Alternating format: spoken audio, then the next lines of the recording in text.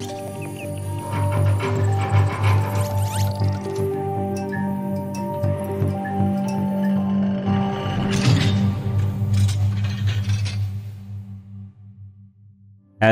my Star Atlas brethren. It is I, the Metaverse Explorer. We have a small video for you today. We're going to be looking at the marketplace pictures that we just got.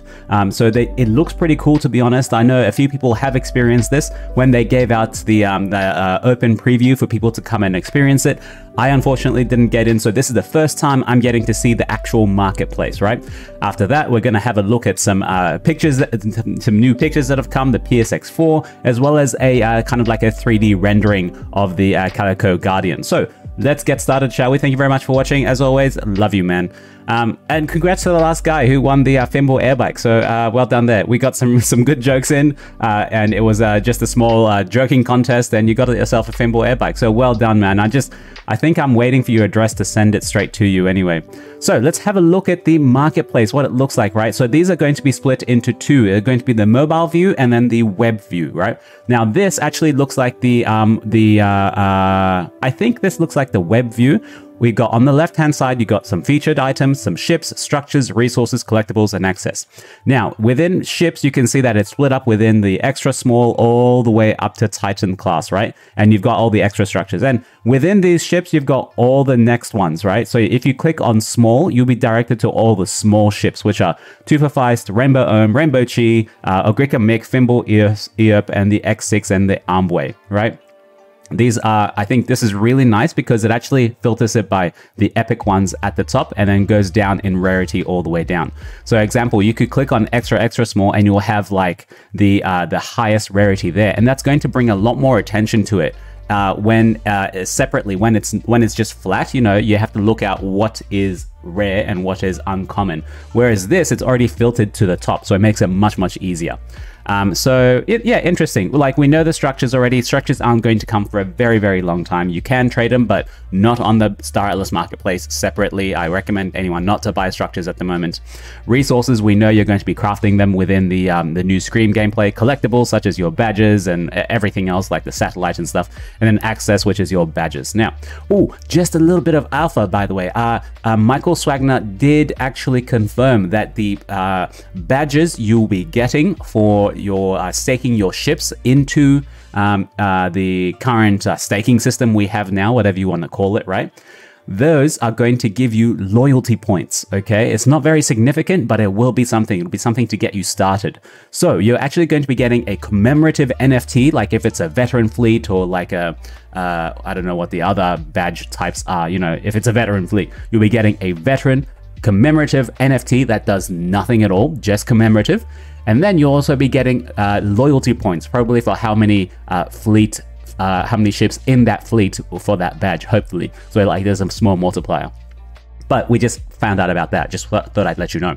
Uh, let's have a look at the rest of the uh, marketplace on the uh, mobile experience, right? So on the left here, you can see uh, it's going to have marketplace and my orders. You can see what's featured at the moment and then what ships are at the bottom. That's me. Just there. Now, um, same thing as well. Uh, it'll look the same on the right-hand side. Um, this is the, uh, I think this actually might be, oh, look at that. There's a capital and commander. I didn't see that. Oh, no, there's right here. Okay, never mind, never mind. Um, so yeah, you'll be able to click on it. And when you click on it to buy and sell, um, so I don't know if you know, but they're getting rid of Serum. Not getting rid of Serum, they're just moving away from Serum, right? So Serum is the underlying protocol for uh, kind of liquidity and trades in Solana, right? Um, it was one of the first ones. There's others at the moment, but it was one of the first. It was one of the easiest for people to come and go. But now on this actual marketplace, it's peer-to-peer. -peer. So I physically will be putting my ship on the market and then you will come to the market going to buy my ship and you'll be able to tell it's my ship because it's coming from my address. Okay, I'm going to zoom in here so you can see. The quality is not that great, but you'll be able to see. So like uh, HPI, you know, uh, HPI, this is the same person buying and selling, creating this uh, buy and sell orders. So he's put 30 of the Fimbul BYOS Earps at each uh, different level. Okay, uh, at each different level. And so you'll be able to buy and sell from a specific person. Okay.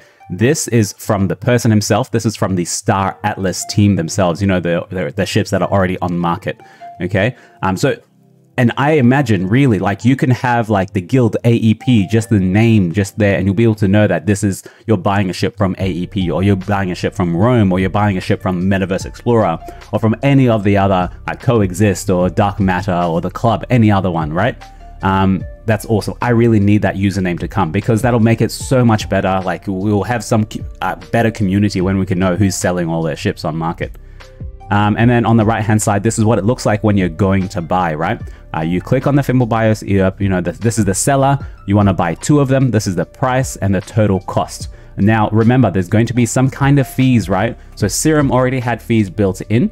Um, this one, we don't know what the fees are going to be. And the fees are likely going to be reduced if you are staking Atlas. Okay, we know that already. There is an Atlas staking coming. You can see this by looking at the price here, 320,000, and then you can look at the total cost here, 333,000. So there's an extra 13,000 uh, uh, Atlas on top of this um, on top of this uh, kind of uh, transaction. Yeah. So that's the mobile experience. Let's have a look at the web experience. Now, I generally like the web experience more. You just get a full view, right? Um, this is what the website looks like at the moment. You'll have the marketplace here, the leaderboard, and you know factions and everything else up here. Um, you'll be able to search. This is the search function that we're talking about before. You search, and then you can click on the ships. You know, you want to, you're in a market for a small ship. You click on small ship, and then you go uh, Tufa, the Fimbul BYOS Earp, the X6, and then you go to that market on the right hand side which is here and you'll be able to see who's selling this at this price and I want to buy this at this price and uh, this is the spread between them so if you want you can list above me who's over here and then I'm going to list above you because I you know want to buy it before you that's how the game is played right um, Unfortunately, um, I don't know how the bots are going to work. Maybe we can label, if we can somehow label the bots, because I don't know if you know, if you're trying to buy a ship right now, like the bots always try and outbid you. You put 1000 Atlas, the bot is going to come and put 1005 Atlas. And it's so super annoying. You'll have to cancel your order, put up your bid a little bit more and go up all the way to a way where the bot isn't programmed to put a bid above you. Okay, it's super annoying. Hopefully they can um, um, they can uh, um, put a name to the bot so we know this bloody bot, I get rid of it. We don't want it. We want normal people making these transactions, right? This is a game. It's not supposed to be botted. I hate that. I, ugh, I really, really hate it. Let's keep going. So these, this is some information from the team about the marketplace itself. So this is highlights from the um, user design, your user interface side that improves the usability and discoverability. So it's probably talking about the search function up here, right? Um, improve the mobile experience. Thank you very much. Simplify the purchase and sale experience. Thank you very much. Data insights uh, for making better marketplace decisions. Not sure what data insights they have. It'd be nice if they could share. Remove the need to settle orders after purchase. This is, of course, coming from the Serum marketplace, right? No longer are we using Serum, so there's not no longer going to be any settling. I don't know if you know, uh, Serum was like when you buy something from the Serum marketplace, it's like it's sending it to your post office. You have to now go and collect it from the post office. That's that's just a simple analogy, but uh, that's not going to be going anymore. This is like Amazon now. You buy it from me, I send it right to your address. Awesome, right? Created an authentic player-to-player MMO-style order experience that will support the needs of our use ever-ending universe of game items, ships, and NFTs. Yeah, we didn't need to say that, but thank you. uh, added the ability to bookmark items. Now, I didn't actually see the bookmark feature here. Oh, there, it's at the top. So this is you're going to be browsing. These are your orders that are currently going, and this is the book bookmark section. Added, uh, added advanced filtering, sorting, and searching. Nice, thank you very much. Uh, you know, I, am sure there will be a small marketplace team that will still be rolling out small uh, uh, additions to the marketplace. They're not going to stop at it, stop there. Now, let's continue from the highlights from the engineering and blockchain side. We have rollout of the first version of our Star Atlas game service. Wow, thank you very much. Providing real-time blockchain data to users. Thank you very much. Where is that? I don't see it, sorry. Um, fully decentralized. The blockchain data reads reads are piped through a centralized source, improving the overall performance and responsiveness of the application. The Marketplace program is built as an open access tool for anyone in the Solana ecosystem to utilize. Uh, that's nice. So the, the, Marketplace program is built as, as, an open access tool for anyone. Um, cool. Hopefully someone else could be like, does that mean we'll be able to create our own items now and list it into the Marketplace? Does it? I, I don't know. Like it's it's a it's an open access tool for anyone in Solana ecosystem to utilize. Like, is that what it means? Fundamentally different from Serum. We know this. Uh, users are, buy, are buying orders directly from players instead of placing bid orders into an open marketplace. Yep, this is exactly what we needed, right? This is what you needed in an MMO peer-to-peer -peer system, right? Um, sure, there'll be some taxes on top because the DAO might need something or um, might be the treasury for the marketplace or something, you know, that sort of stuff. No settling orders, simplified experience, and tailored to feel like an MMO marketplace. Awesome. Awesome. Very, very good. I'm super happy with how it looks at the moment. I want you to give me what you think uh, it's going to it's going to feel like for you. Have you played any other MMOs? Um, does this does this work for you? Is this okay? It's not okay, is it? You tell me, right? Um, for me, it's a good start. I'm I'm uh, I used to play Guild Wars 2, which had one of the best marketplaces experiences I've ever seen. To be honest, in an MMO, I never played WoW, so I don't know what that's like. But the Guild Wars 2 marketplace was really good. It was its own entity, Black Lion uh, Marketplace, um, and like the it was a full kitted out like uh, search function and um, listings and like buy lowest lowest all of these functions. That was really really great. Okay, let's move on, guys. Let's look at the uh, PSX4. We got some new pictures here. This is um, them doing the 3D modeling of the actual ship, okay? And how it's going to look like in all the different modes that we have. Because we know that PSX4 is very, uh, sorry, the PSX5 is very, very uh, unique because it has lots of different functionalities it can go into. So let's uh, go into the first one here, which is the ground patrol mode. So when you're on the ground, I guess on a planet, you're patrolling around this is what the picture, so on the top is what the pictures, the concept art looked like. This is the bottom of it, actually 3D, 3D modeling it. So the ground patrol mode, that's what it looks like when it's uh, modeled in a 3D environment and hopefully in the showroom, right? This is the attack mode where you can have all four guns uh, pointing forward and that's what it looks like in the uh, 3D modeling. This is the uh, space mode, which should be for like uh, speed and like racing mode. Um, that's what it looks like. And then we have the uh, defense shield mode. Now, I totally forgot about this defense shield mode. Look at it. It looks pretty good. Hopefully, it should. It looks like it's like creating a defense uh, around it, and maybe there'll be a force field that spurs on above above it here. It's like a like a tarantula or something. I love it.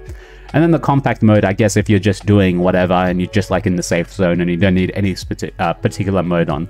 So this is very interesting to see.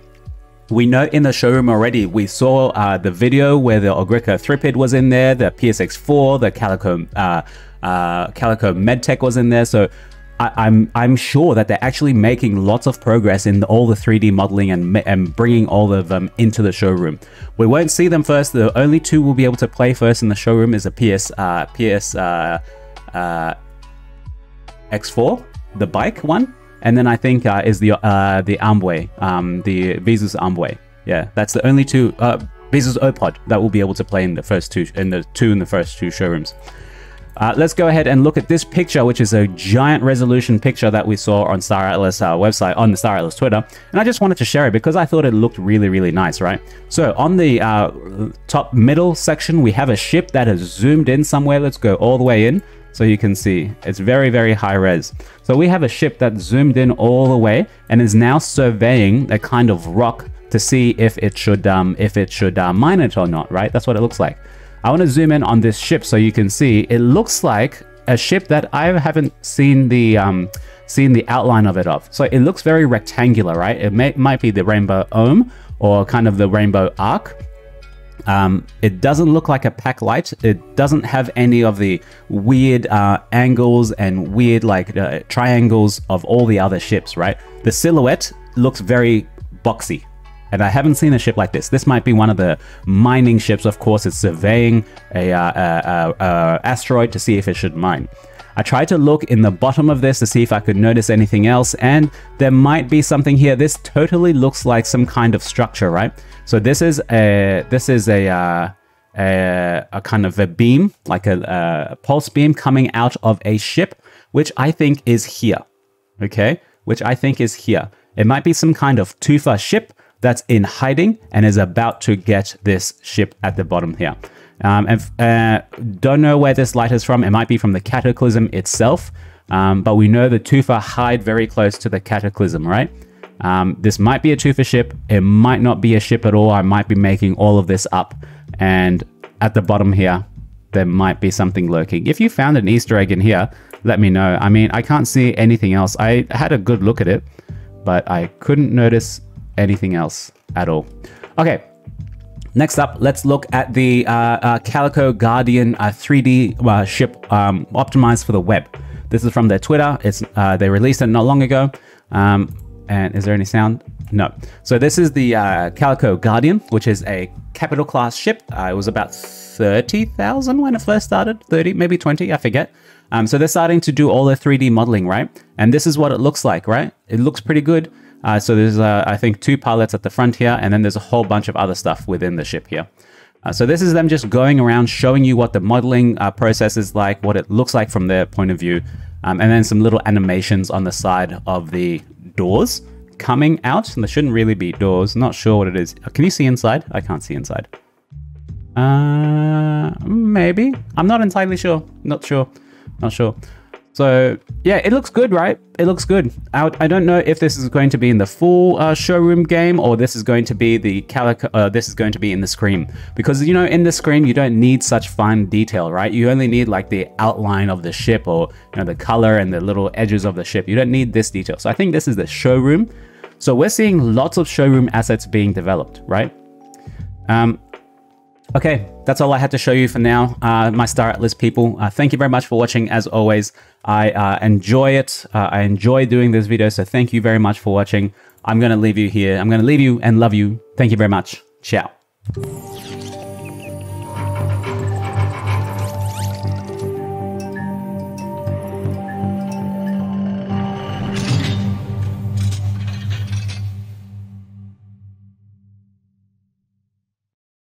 Peace.